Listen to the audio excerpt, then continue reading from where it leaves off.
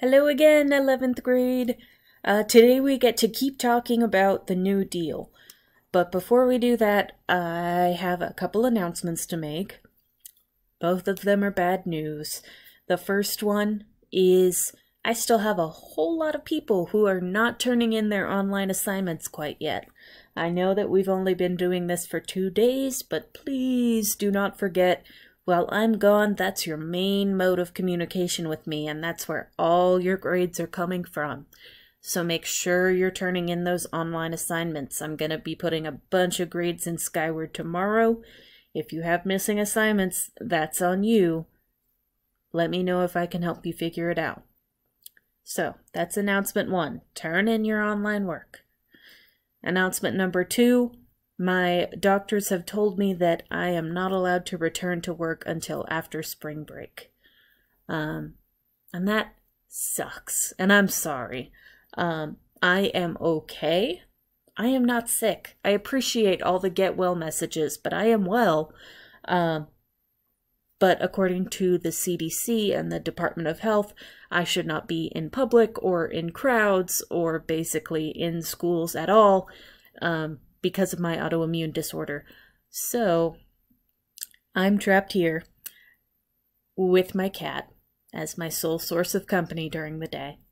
Uh, and we will keep having classes that basically look like this 10 minute or so video for me, some kind of in class assignment to do and turn in. Pretty straightforward all that said and done, let's get to it. So, New Deal. Yesterday, y'all listened to one of the fireside chats. You got an overall introduction on what FDR said um, they were going to do. Today, we get to look at some of the specifics on what they actually did.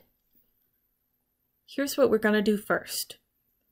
I'm going to give you guys just 15 seconds at your tables, I want you to try to name all of the departments of the executive branch. I will give you one. As an example, the Department of Defense is one. See if you can name all the other departments of the executive branch. I'll give you 15 seconds.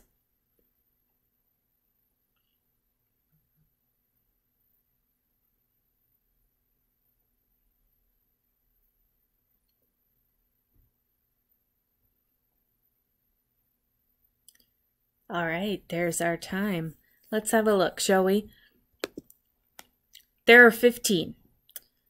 There are technically 15 departments in the executive branch, but there are way, way, way more uh, sub departments, agencies, bureaus. Let's have a closer look at that. So, this is a list of all the executive departments. We go from agriculture, commerce, defense, through Homeland Security, Labor, all the way down to Veterans Affairs. If we go back in time to the 1790s, only two of these departments existed. George Washington only had two departments, and those were the Treasury and the Department of State. So he had two people in his cabinet Secretary of State Thomas Jefferson Secretary of Treasury Alexander Hamilton. He only had two people in his department. Now we have 15 people. But wait, there's more. These are only the departments. We also have literally hundreds of sub agencies and bureaus in the executive branch. I'm just going to scroll through these so you can get an idea how many there are. It's so many. It is a semi-ridiculous number of things. And we're still going. And we're still going. So, hundreds of departments, much less uh, tens of thousands of people, actually work for the executive branch. But as we just saw, that did not used to be the case. There used to be very few people in the executive branch. Part of the New Deal is um, taking us from that very small executive branch to the very big executive branch. So, as this says, a lot of these departments and bureaus were part of the New Deal. This is sometimes called the alphabet soup. And that's because there were so many new agencies and bureaus that had very long names that got shortened to just a couple letters. Um, that people said it was like trying to wade through alphabet soup. We have the uh, CCC, the Civilians Conservation Corps. We have the TVA, the Tennessee Valley Authority. And easily a dozen or more others. We're going to look at, uh, I think, 11 today, but there's more, um, of these different alphabet organizations that are all part of uh, the federal government there to try to ease the burden of the Great Depression. But before we look at specifics, quick check for understanding. I'm going to ask two questions after each question, I want you to pause this video and have a quick discussion with your table groups, with your entire class, um, kind of whatever the sub decides uh, makes sense right now. We will have short discussion on this question, then unpause the video, do the next one, pause the video, discuss, unpause. Good? So, Question 1. Why would FDR have thought it necessary to expand the government so much? Why did this formation of this alphabet soup, why did all these new organizations seem necessary? Take a second, think about that. Pause our video, discuss for a few minutes.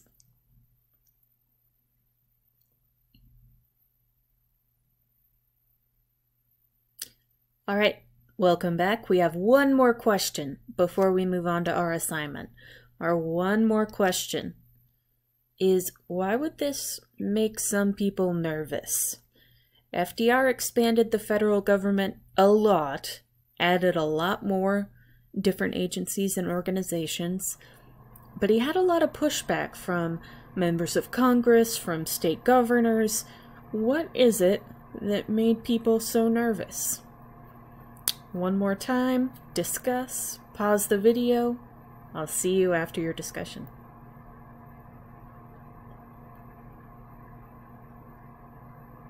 Hello again. Alright. Here is what you're doing for the rest of the day. We're going to try to decode the alphabet soup. Learn about what are some of these different organizations. There is a graphic organizer on PowerSchool with some of those main organizations. It follows along with what is in the book, so it should be pretty straightforward and easy. It's going to be your job to fill in what these alphabet organizations did. The page numbers are already there. I'm going to show you how to find all this before I let you go. So here is my PowerSchool page. If we go down to weekly schedule, it now says Alphabet Soup, download here. If you click there, obviously, you can download that graphic organizer. To turn it in, we're going to go to Activities, Assignments.